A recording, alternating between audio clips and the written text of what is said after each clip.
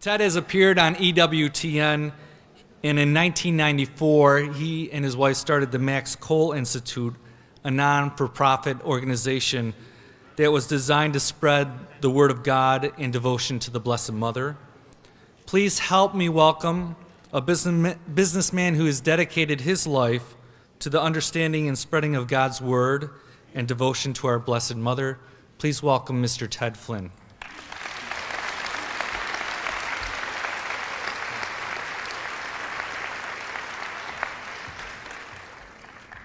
Thank you. It's, it's just a nice opportunity to be back here. I was just speaking with some people that I actually stayed with, um, Doug and Doris Vining. It was about, uh, I guess, seven years ago when I was up here. And, and just even in the last hour or so, I've had the opportunity to see about a dozen people that I've met through the last few years, as well as even done pilgrimages. And uh, several people actually here were on the trip that we did last summer to Israel.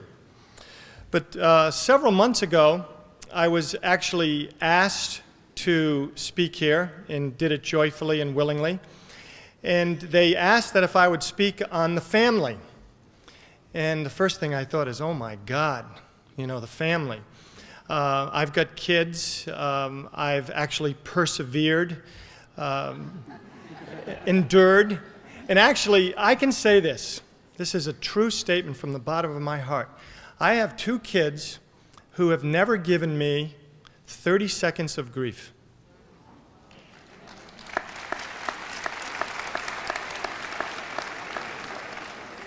And I consider myself, and believe me, there is such a thing as grace, and I really very much understand the concept of grace. And uh, my wife and I, we actually began to take our, which was really a conversion process uh, very, very seriously. We were actually both very much into our faith, even when we were married, even be, while we were engaged. And then I guess the booster shot was actually Medjugorje. Uh, my wife went actually, I think, the first time in 87 with her mom, and then I went in 89. We brought our kids, and then we went again actually in 19, I think it was 97. And, you know, it's just a place of grace. Uh, I remember getting off the um, bus coming up from Dubrovnik the first time. And, you know, just literally just getting right off the bus, and I said, This is, this, God is here. You know, it's just something that you can understand. It's a spiritual thing. And there are places in the world that I think are more special than others where heaven is pouring out graces in fairly unique ways. And so, in thinking, and it's been, I guess, several months since I was asked to speak on the family because the subject that I've been actually very into over the last year or so actually is on the New World Order. And it's literally appearing before our eyes, you know, on a daily basis and news basis every single day now, faster than even the day before, just as a result of the last, you know, month we're looking at maybe national ID cards and you know immigration issues, and really on a macro scale talking about really shredding the Constitution. But what can I say to a group of people that are really here as believers. This is actually the remnant church. I heard 20 some years ago that when you're speaking to the uh, self righteous, preach justice. And when you're speaking to the people who are really trying to live the faith, preach love. And so, really, it's, this is a, a time of really encouragement of some of the things that I've seen throughout the world over the last 20 some years uh, having the opportunity also to speak in a lot of places, uh, meet a lot of people. And I think if I hear one single thing as I get a chance to travel and you know people are bringing you back and forth to airports and you're in diners and you're you know you're you're in a very quiet moment or maybe even signing a book it's the thing that I hear most on a very very consistent basis for nearly 10 years and it's this I feel so alone and you're in a diocese here which has its challenges. And you're not totally unlike many other places in the United States. I've actually been in dioceses where um, they actually had a deacon uh, consecrating. And so I turned to the person. It was actually carrot cake. It was in Hawaii. And uh, I said, Well, what's going on here? They said, Well, this is a communion service and the person actually is, you know, a deacon and they're, they're consecrating the host. I said, I don't think so. I don't think this is the way it works.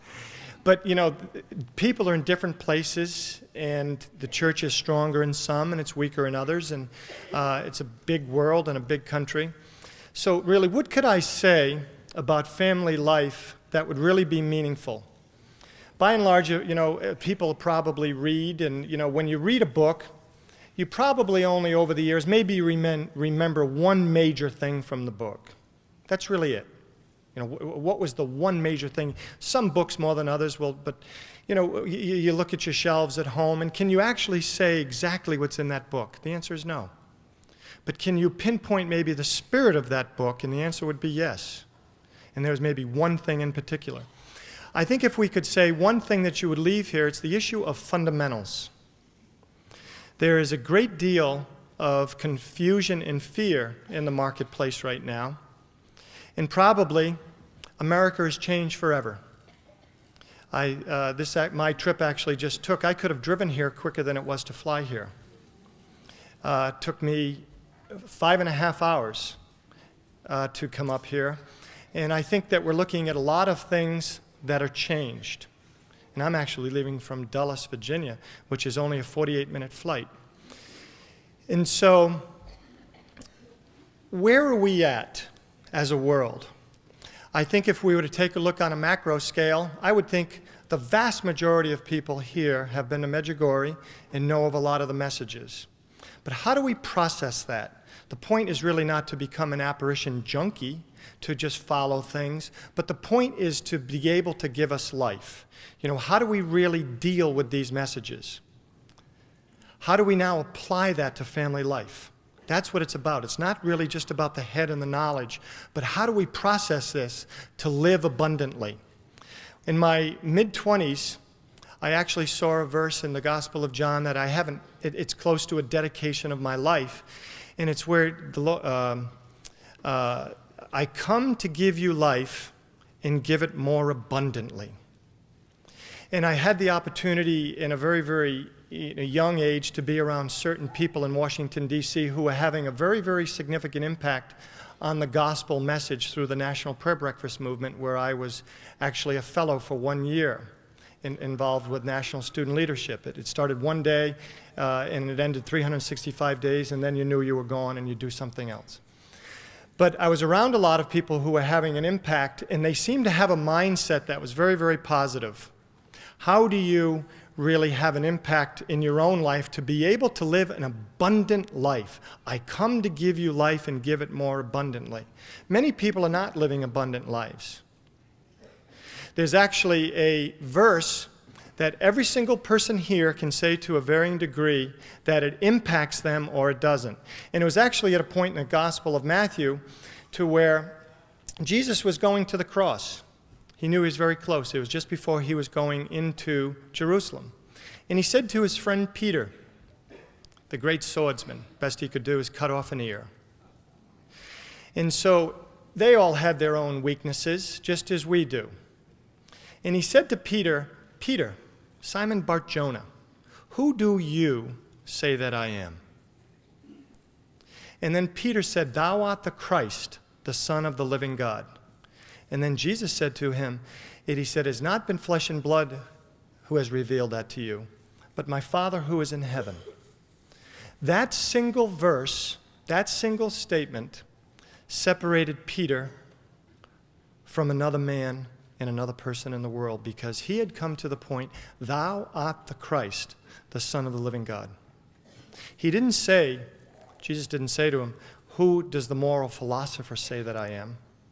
Who do the members of the Sanhedrin say that I am?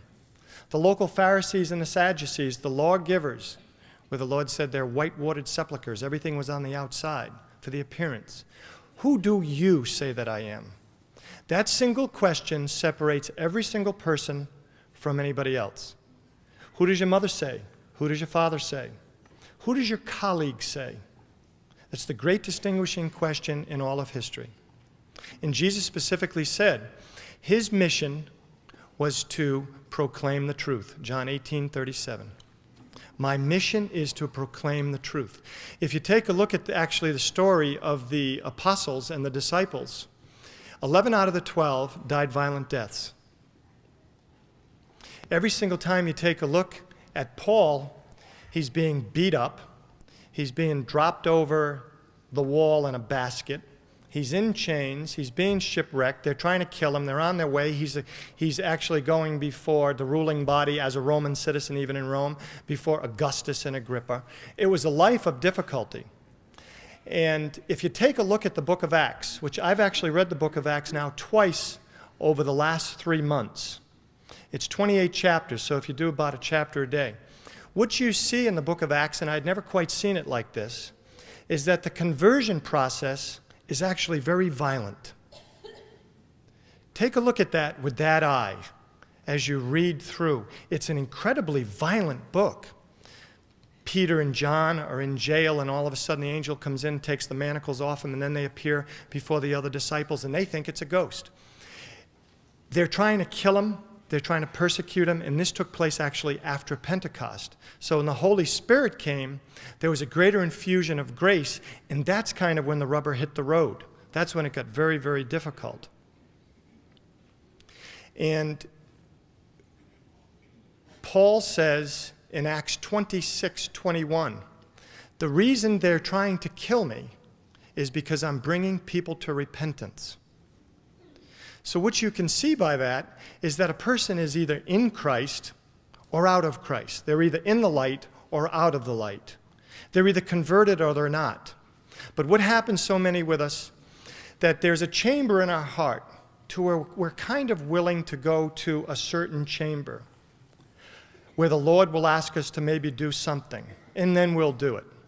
And the Lord may say, Well, how about this? And then we'll maybe do that. But then it gets a little bit more difficult. Well, are we willing to go to this chamber? Well, this one will cost you. This one may cost you more emotionally. This one may cost you more financially. This one may cost you more with your time. You may not play quite as much golf, or you may not do the things you want to do. So it all boils down to a conversion process, which is the absolute fundamental aspect of our faith. I'd like to tell a story of why, why I think families are, have been successful and tell the story of two separate families that I have known for upwards of 20 years. One family has two children. There is virtually nothing right in the family. The father has never prayed John 17, of all that I have is yours, mine are thine and thine are mine those that you have given me. There has never been a conversion in the house, and so as a result of that, they have never really had God's best or, the, or abundant living. The kids are absolute brats from the word go. As soon as they walk in the house, they're just absolutely nothing but unruly, whether you're in their house or their house. But what it boils down to is the parents. The parents have never really had the conversion process, so why would we expect the kids to be anything different? The girl, actually, right now, or one of their girls, is about 14 or 15, and she's dressing like she's Britney Spears, you know? And so it doesn't take really a, a rocket scientist here to see where this, these kids are going to be headed. And so they actually had a conversion of, of the faith to where, you know, they actually asked if we would be involved with them in several capacities. And we were, and we went to church with them once. We brought them once. That was seven years ago. And when they come in, and you know, we're very, very friendly with them. But then we'll say, you know, you know, uh, how are the kids doing? What did they think was said at church? And they said, oh, they didn't really want to go, and I was tired. So there really hasn't been any sort of conversion process in their own life. And so school's not going well. There's discipline problems. She whines, the kids whine. Nothing is right because there really hasn't been a circumcision of the heart. And then there's another family who do, doesn't really have maybe 25%. This guy's a big businessman in D.C., and that's part of the problem of the inordinate uh, pursuit of wealth and money and the neglect of the children for what he thinks is going to make him, you know, maybe a very happy guy later on. And then there's another family with six kids. Well, the kids are involved in everything the parents do. They are at church together. They're persevering. They're actually, as a family, in Eucharistic adoration. The kids are actually all in tremendous activities. And when you walk in the home, it has an, has an aura and spirit of peace. So, who does it come back to? It comes back to the parents. If you want to take a look many times at what the kids are, it's the parents. And the lament actually is that uh, due to the division that is in families, there are a lot of things that aren't quite perfect. And so, speaking to the people who are really trying to persevere, I think if there is the sticking of the fundamentals, then I think the families may not be absolutely perfect because everybody is carrying a burden. I think if I've realized one thing over the last, maybe particularly in the last 10 years, of why we can never judge another human being, is because when you get to know them on an absolute intimate basis, there's absolutely a cross that somebody's bearing, many times that we now understand why they're like they are. So it's best not to judge for that reason. Because once you get in those one on one settings, many times in, in the conversation goes to the spiritual level or the agape level, I hurt. Because most conversations actually take place of whether or not the, you know, the Yankees beat the Oakland A's and they trade information at the water cooler. The next level of, of communication is actually at the level of, well, you know, my kids just got B's and, you know, we're going to the baseball game. And, you know, it may be a little bit more intimate. But the next level of conversation is the spiritual level of, I hurt. I need to do something. My marriage isn't quite right. What should I do? You go to somebody who is a trusted friend and you begin to seek the answers of what is God's mind because there's really only three ways to look at any single issue on the entire planet as I see it, as others see it, and as God sees it. And when we look at it as we see it, many times the way our periscope goes up, it's not quite perfect. Because due to our own culture, our own ethnicity, our own experiences, our own limited capacity to process and digest information, we may not get the perfect answer.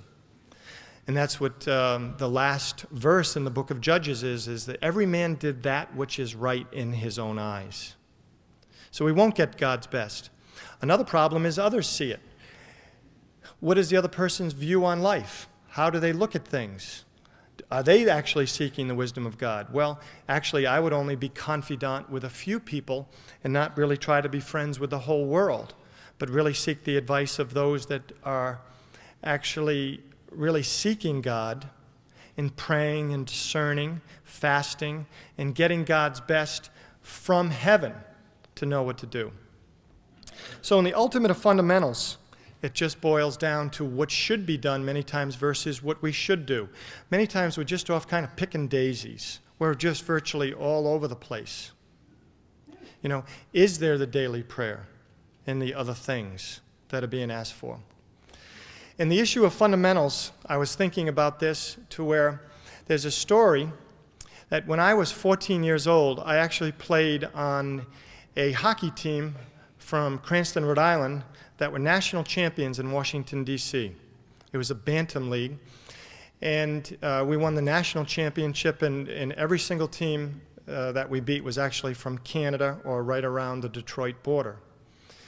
And I look back over the years on that and see how that happened and where a lot of the kids went and how that evolved.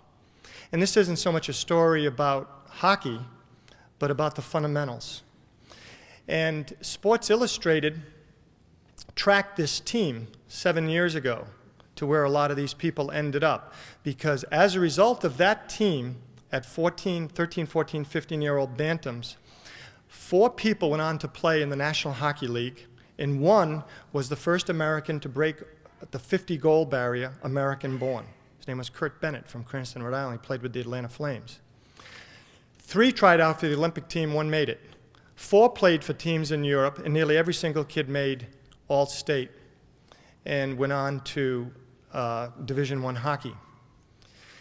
And what happened and how that evolved was through one man and this is how we can apply this to the fundamentals of our own faith in our own family, our own domestic church.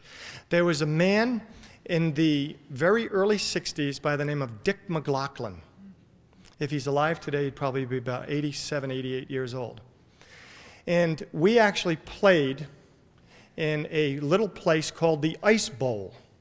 It's about maybe even about one half the size of what would be a regulation rink today.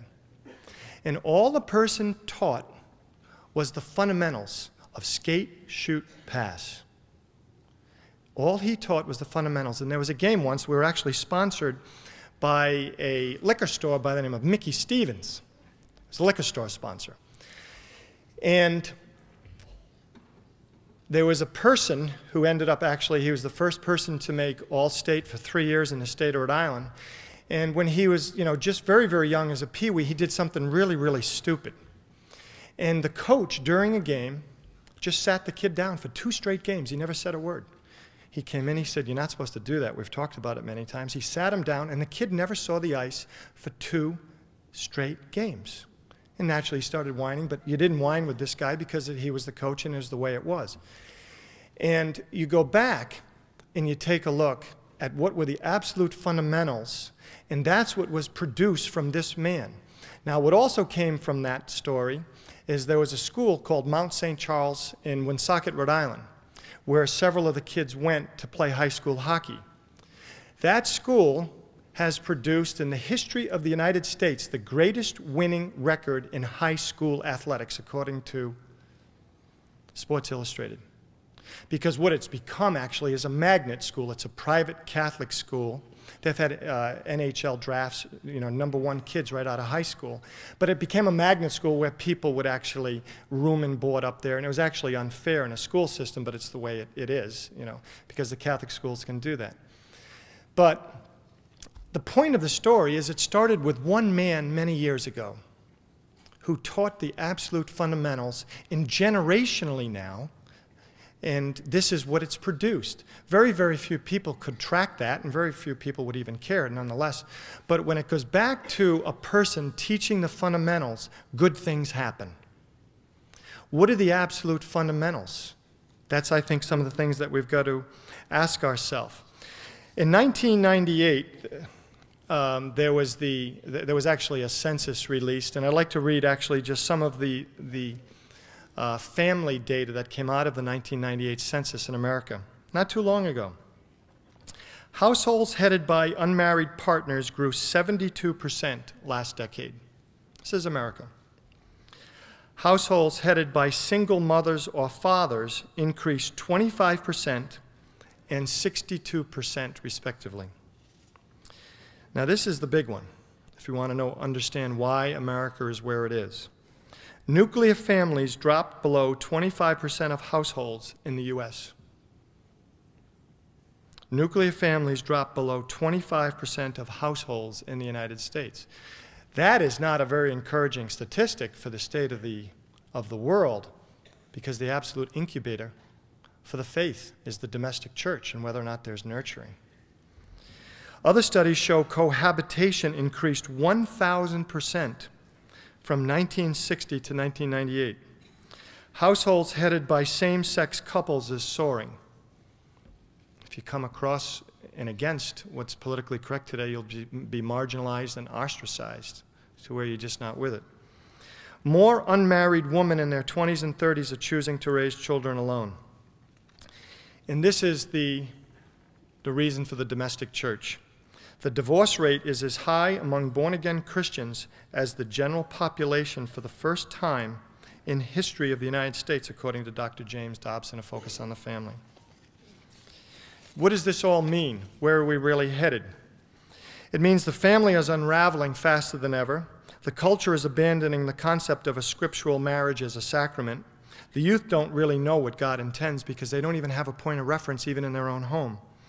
God is irrelevant in their lives, a non factor. You could never, ever, ever have The Simpsons on primetime television unless you had a complete moral breakdown. Uh, could you imagine maybe the people who are at X age here, of maybe Ozzie and Harriet, uh, Make Room for Daddy, The Ed Sullivan Show, and the different programs, if all of a sudden you left the United States and went to live on a, on a deserted island with Rip Van Winkle and then all of a sudden you came back maybe last week and to see what would happen in television. Actually, most of the fathers in America would have bashed it in with a baseball bat. That's exactly what would have happened. But we've been drowning inch by inch. We've been being numbed to death. And actually, we don't even know it. That's what's been happening in our living rooms, to where we think these things are normal. Well, I think deity thinks the opposite. America is a degraded society. Specifically, our problem is what the ancients called acedia. It is a spiritual lethargy in absence of zeal for divine things. Acedia arises from a heart steeped in the worldly and the carnal, and from low self esteem of divine things. The consequences is a coarseness, a callousness, a cynicism, a banality, and a vulgarity to our time. All you've got to do is look at the youth today and see exactly how true that is. You don't see body piercings, tattoos, and to look like that if you actually have a vision for life and where God intends us to be. No one will live like that. According to a pollster, a Christian pollster by the name of George Barna, this is actually from Focus on the Family Data, um, he reveals that if a child hasn't been introduced to Jesus by the time he or she is 14, there is a 4% chance that a conversion will happen by the years 14 to 18, and a 6% chance that it will happen in the remainder of their life. That's exactly why we need to get the, the, youth very, very young and introduce them. And that's actually why this subject is such a tremendous subject. It's the absolute root of the church floundering or flourishing or prospering or absolutely going down a point of no return. On a historical basis, from the great civilizations in front of us by the people like Toynbee, Arnold Toynbee, Yakuta, Will and Ariel Durant of the Story of Civilization, um, uh, Edward Gibbon, The Rise and Fall of the Roman Empire, which is just chronicling that. There's been 22 great civilizations in front of us, and this is actually what I go into in Hope of the Wicked on the New World Order things. But actually, if you take a look at America, we're in serious, serious trouble. There's virtually no doubt of that. You know, in the magnanimous way of Manhattan people at Planned Parenthood after the Twin Towers went up, Planned Parenthood decided it would be just a magnanimous gesture to offer every woman who came into their clinic a free abortion. That was last week. I see a very, very inconsistent thing with the flag waving, which is nationalism is good, sovereignty is a good thing. It's very necessary for the human culture to many times exceed boundaries. But I see it very, very inconsistent when I see nobody talking about repentance. I, where the, you know, the greatest form of rulership in the history of the world is a benign dictatorship like King David. But I see nobody putting on sackcloth and ashes. Six days after the Twin Towers went up, right on national television Monday night, Dharma and Greg, two gays were married on the show. They married two gays. That same day in Congress, they actually passed same sex benefits for same-sex or benefits for same-sex partners in Congress for Washington D.C. There's a very, very inconsistent thing. We've got to get away from what we see in the newspaper. And that's why the Blessed Mother has said to people like Father Gobbi and others, stay away from the materialism because this way you'll be able to process and filter more in a way that is of God versus being polluted with the things that we're seeing on television. I'd like to actually take a look at what I think is the single greatest impediment to family life, absolutely bar none. If I were to ask people here what is the single greatest social issue of the day when Jesus walked the earth, many people would say it was the issue of Roman occupation. Jesus never addressed it. The greatest social issue of the day, or like abortion, was Roman occupation. And they asked him actually what how he should deal with taxes, and he gave only a one word answer. He said, Give to God what is of God, and give to Caesar what is Caesar's. Jesus was about the heart, whether it's the woman at the well, whether it's Zacchaeus. Zacchaeus, come down off that tree. I'm going to your house tonight for dinner. He absolutely saw no boundaries, whether he's with a prostitute like Mary Magdalene, whether he's with a creep like Matthew, who was a traitor to his people, being a person collecting taxes for a foreign power. But everything he did was to touch the heart. Everything he did was touch the heart. And that's what it's about that if we're feeding totally the mind, we're not going to get God's best in our families. The greatest impediment today to family life that was as great as this, the issue of Jesus is without a doubt the television set. Nothing in this world is as destructive as TV. But what's happened, we've begun to be numb to that process. If I've made one single good decision with many, many bad decisions of raising my children and, you know, um, nearly weeping at sometimes over things that I did that I shouldn't have done, and uh, the Lord redeeming because I've had to go to my kids on many, many occasions. Will you forgive me?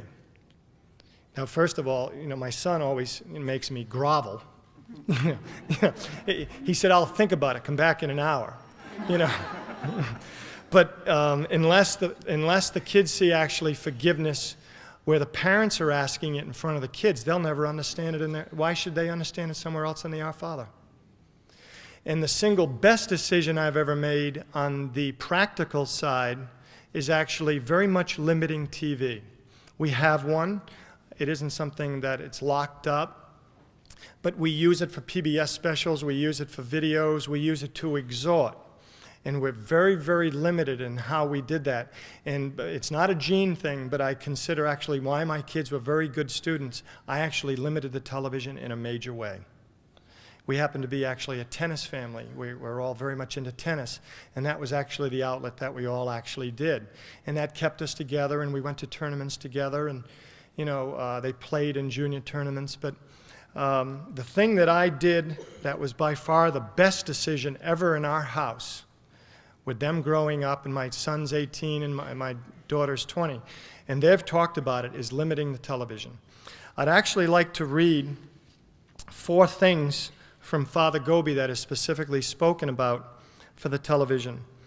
And uh, I find it interesting. I looked, there's a concordance to MMP, and I actually went back and looked to see where every single time it was mentioned television in MMP, and it was mentioned 10 times. And what was most interesting, it was the very, it was the sixth sentence. And it came from July 8, 1973, of the second message ever given by Father Gobbi to the world. And here's what was said. Uh, I'll read actually four of these. And this is called The Movement is Now Born. The sixth sentence, but there was one previous, but it, it'll happen like the second sentence here. Look at neither the newspapers nor television. Remain ever close to my heart of prayer. Nothing else should be of interest or importance to you save living with me and for me. The Marian movement of priests is now born, but it is so frail and small that in order to grow, it has need of much prayer. Is a message several years later. Immorality is spreading like a flood of filth and being propagated by the means of social communication, especially the cinema, the press, and television. By means of the last mentioned, television, a subtle and diabolical tactic of seduction and corruption has found its way into every family. The most defenseless victims are children and youth, whom I look upon with the tender preoccupation of a mother. We don't want to get into the statistics of television because we could go ad nauseum on that, but I think actually the television is, is on in the average American family eight hours a day. And I think on weekends it's 10 and a half and you know NFL Sunday from about 11 in the morning all the way to about 10 or 11 at night. And this is why the church is weak. This is why there's no prayer. This is why there isn't time for what's most important because go without television for do it for a week, watch what happens. Your spirit will soar because the news is actually all depressing. You know, that's, that's very, very common. If a person's actually depressed, many times the first thing a psychiatrist or a psychologist or a doctor will tell a person, stay away from the news.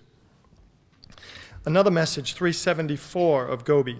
Lastly, I ask you to remove yourselves far from anything that can contaminate the purity of your heart and the chastity of your life. Do not take part in profane shows. Do not waste time before the television set which is the most powerful instrument in the hands of my adversary, in spreading everywhere the darkness of sin and impurity. This actually, I remember the first time I read this because this is actually the idol spoken of in the book of Revelation. And this is actually many times where the Protestants have a very, very different view of the Catholic interpretation of Revelation because the Blessed Mother's been busting it open to Father Gobbi. The black beast of Freemasonry, the red dragon of communism, and the idol of the world is literally the television set. Television is the idol spoken of in the book of Revelation built to be adored by all the nations of the earth, into which the evil one gives shape and movement, so that it might become in his hands a terrible means of seduction and perversion. The last one, 412. Never as today have immorality and impurity and obscenity been so continually propagandized through the press and all the means of social communication. Above all, television has become the perverse instrument of a daily bombardment with obscene images directed to corrupt the purity of the life of the mind and the heart of all. The places of entertainment, in particular the cinema and the discotheques, have become places of public profanation of one's human and Christian dignity. Look at the action words, look at the adjectives of how strong the Queen of Heaven the spokesperson of the Holy Trinity is specifically saying about one thing that is in every single home in America and many times several television sets. Perverse, bombardment, obscene images, corrupt, the purity. Those are really, really strong words. You know. So this is how the faith actually works its way down more actually to the practical level of, you know, what are we really to do? I think that if I were the devil and I were looking to have this final battle where I was going to battle the woman clothed with the sun, and the, and the devil is a pretty shrewd guy. I mean, he's had a lot of history uh, to be able to perfect his techniques, and we've got to be very, very wary of that. I mean, anybody doesn't think there's a devil uh, has been actually spending too much time in front of DVDs because literally when Jesus was being was, was in his fast, at the end of his 40 days, he, he was a very, very weak creature for sure in the flesh. But spiritually, you soar. And that's why fasting is good for discernment, because you soar. Because, because the neglect of the flesh, the spirit takes over. And that's why there's much greater discernment when a per person fasts for what to do. But what I would have done if I were the devil, I would have invented the television. Think about it you, uh, of, of, of just being piped in day after day, year after year, decade after decade. We don't even know that we're submerged underwater. Mother Seton, in the early 1870s, as the foundress of the Catholic parochial school system in America, working with the Bishop of Baltimore, actually had an image of a black box in everybody's home creating a situation of impurity and destroying the church in America. Wow. See a lot of heads. That's exactly what it's doing. So we wonder why we're not really fighting with the armor of God. And it's because, you know, as Matthew was speaking earlier about habits, I actually heard. Uh, does anybody think they got bad habits? I see two hands. Actually, you don't have any bad habits. They've got you.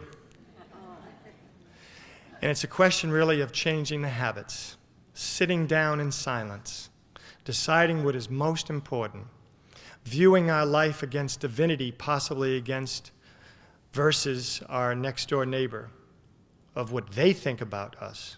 Well, if we're measuring ourselves against our neighbor, we could possibly look very, very good. You know. But um, with all of this confusion and everything that's in our midst, how do we really interpret the signs of the times? What are we really to do? Well, Jesus specifically said, tear down this temple, John 2.19. Tear down this temple and in, two, in three days I'll build it back up. Nobody understood what that meant. Actually, the Pharisees said, how can this be? It took 46 years to build this temple. Well, even the disciples and the apostles only understood that at resurrection. All prophecy has a veil over it. We're never going to understand the full and the entire truth. We're going to get little bits and pieces. And once we know the sequence, we know there's going to be a warning and an illumination and aviso and enlightenment, and that's actually going to change world history. But the point is, is how are we living our daily lives? I've actually been criticized, um, you know, of being too much into apparitions. Well, actually, over the last three years, I haven't been reading any. All I've been is reading really Scripture to see what the mind of God is. And you can see in Scripture that the apostles really never fully understood what was going to happen, and neither do we. We're not going to figure it out. The greatest parlor game probably among the Marian crowd is, you know, guessing the warning. Well, we know the miracle is between the months of March, April, May, and you know, between the 8th and the 16th and 8:30 p.m. in Spanish time, and you know, so that's that's kind of past now, especially as the dating game has ended, because um, especially with the Jubilee coming and going, because many people thought things would happen. But how is the domestic church? I actually spoke last week. We actually sponsored this thing at the Shrine of the Immaculate Conception, which we've done for nine years, called the Week of Prayer and Fasting. I believe we're past the war of words now. We've got to put it into the armor of God of how, as Father Gobbi said, more is accomplished through one day of prayer than in a year of negotiation. You know, imagine if the Palestinians and the Jews thought about it like that, or the Northern Irish in Ulster, Belfast. You know, so more is accomplished through one day of prayer than a virtual year. So we can see when Jesus was tempted, who came to visit him? The devil. And to make it short, he said, All of the kingdom and the power in the world is mine to give you if you bow down and worship me. Well, that specifically says there are people who accept that through commission. I believe there are certain world leaders and people that say yes to that power through commission, but 99.999% of the world actually just adopt that through an ideology of humanism that has actually passed that now to atheist, uh, practical and theoretical atheism versus humanism. We're way, way past that term of philosophy years ago, secular humanism. Now it's actually a state religion now because of the strength of the separation of church and state. But see, what happens when man gets in a pickle, churches fill up. That's what we saw in the last month. Now, probably a lot of people here go to daily mass. Four or five days after the bombing of the Twin Towers, the, the daily communicants were back to the same people. Love grows cold. One day the manna is falling from the sky in the desert. They're dancing in jubilation, leaving Egypt, no more having to make bricks with no water. 40 days later, they're building a golden bowl. So man has to look and always continue to focus in on what is the most mundane. And that's many times the dry places, and that's where we actually find God in the dry places. I've gone through periods of my life where I felt God was leading me around literally through a rope through the nose and dragging me, and this is where you're supposed to be. I'm actually coming off several years of not knowing what I'm even to do. You know, and know, I've talked to several priests about it, and, and one in particular said, Meet your dryness head on. It'll pass. But actually, now that I, and I'm actually coming out of a very dry phase, and this is where I feel as if I've actually grown most in, in the dryness.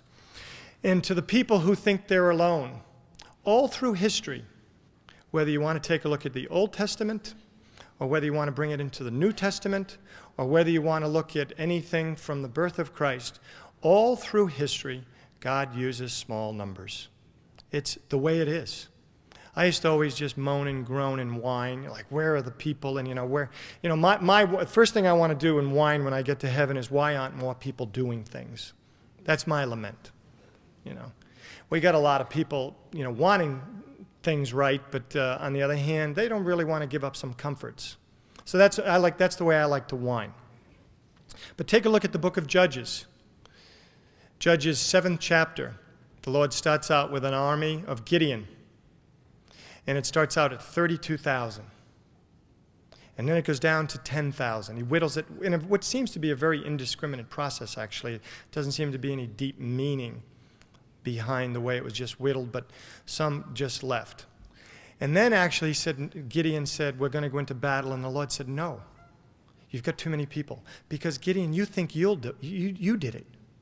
There's actually no allegorical meaning to that and no conjecture. It's very, very clear. The Lord specifically said to Gideon, You'll think you did it and you won it. We're going to show the world it's my glory. So I think those that go down and lap the water up like dogs, that will be your army. And it went from 32,000 to 300. So, that's a little over 1%. I can't help but think as I travel around and talk to people that the church actually doesn't really have a whole lot more of the extremely faithful. There are about 55 million Catholics in the United States. And what percent would be maybe willing to fall on a sword and march? I don't know. You know, pick a number. I think it's possibly about maybe 4%, 3% that would really, really believe. And there's different charisms of believing. There's, you know, there's different things for different personalities. There are people who are legionnaires, and there are people who maybe who Opus Dei, who maybe wouldn't really endorse anything to do with uh, the Marian side of things. Well, God bless them, as long as they're being faithful. Encourage one another. There's actually three types of people in the world.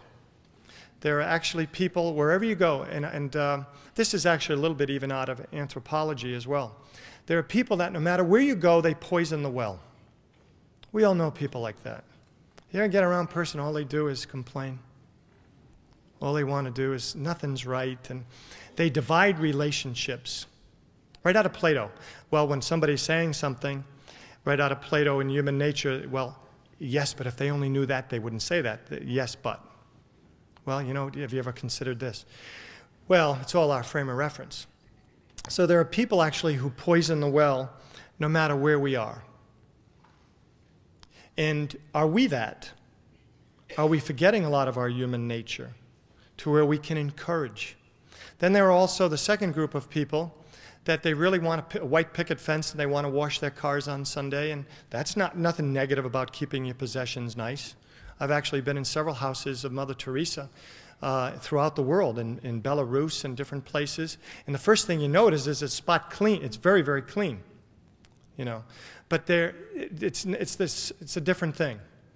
But there are people who are just kind of content to go to work, to go to maybe the, the shopping center, and they want to make sure their grass maybe looks like, you know, Augusta National, you know.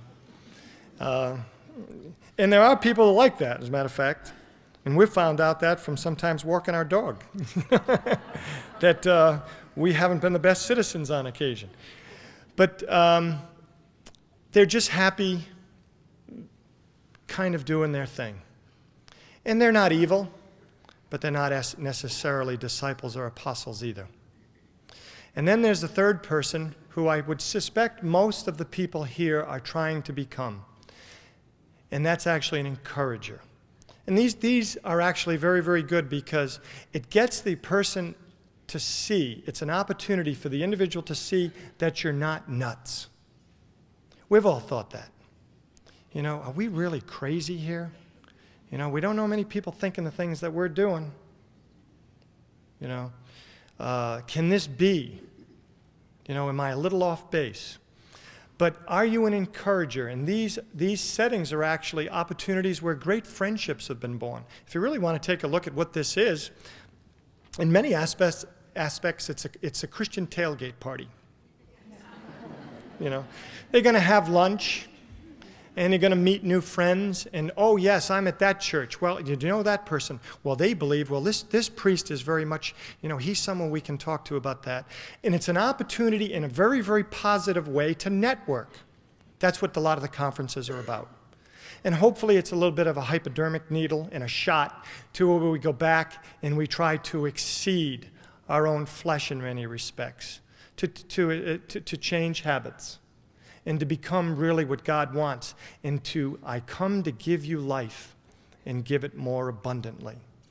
I actually have been so blessed that it's actually, it, it, the things that I've been able to do and the people that I've been able to meet, it's really just almost been all through the gospel message. I've got some great, great relationships and friends, and, and I really attribute it to, to meeting a lot of people like yourself who are trying to make a difference. It's, the, it's kind of the encouraging group. So, what are the fundamentals? The fact of the matter is, we know them, but we don't do them. The fundamentals, first and foremost, is what is God saying to me? How can I communicate with God and I can hear God? So, are we in prayer? So, you can ask yourself where you're at. I've failed miserably. I mean, I've gone through a period of time where I couldn't even say a rosary, you know. I mean, it's just, you know, here we go again, you know. And, and there's different phases that we go through of, of down and we're up. But it's a question of really persevering to the end, where Paul says, I fought the good fight. Because actually, it's our only option to really persevere and fight the good fight. So, are we in prayer wherever? Is there the rosary, which the Blessed Mother has specifically said it is the chain to fight Satan? The devils are unleashed, according to the great mystics of the world, in a way that they've never been unleashed before. And these statistics on the family seem to indicate that because there seems to be a confluence of events politically, socially, economically. Well, just take a look what's happened in 30 days in America. What would happen if something much more dramatic happened? And how quickly things could change. Is this really what heaven's been trying to communicate in preparation? Is this what it's been saying? Is the Mass the center of your life? You know, different dioceses have different challenges with different issues. We actually have it very, very easy here. I spent four years in the Soviet Union on power projects with the World Bank, and, and I, I actually had dinner actually with, a, with Cardinal Swiatek of Minsk, who spent 17 years in hard labor. Didn't waffle in his faith. So we think many times we've got it difficult. We have to actually go out, and we've got to, wherever we can be fed, we've got to find it. If, if you don't have a mass at such and such a place that you should, maybe a 10 minute drive, drive 30 minutes. It absolutely has to be the center of what we're doing, or else we're going to perish. You really won't make it unless it's the daily chores and the daily prayers and the daily everything that we're called to do. Is there monthly confession, as every one of the major apparition sites have asked for? Well, you know, the graces just can't penetrate. If there's a single thing that I've seen that is probably the most important for grace to begin to penetrate, it's going to confession. Because it's kind of like somebody holding an umbrella. You know, it, the, the, the, rays of grace just can't penetrate. You know, if it's raining, you're just going to be protected from that. But if, if, if the Lord is trying to communicate, He can't communicate with really a clouded soul.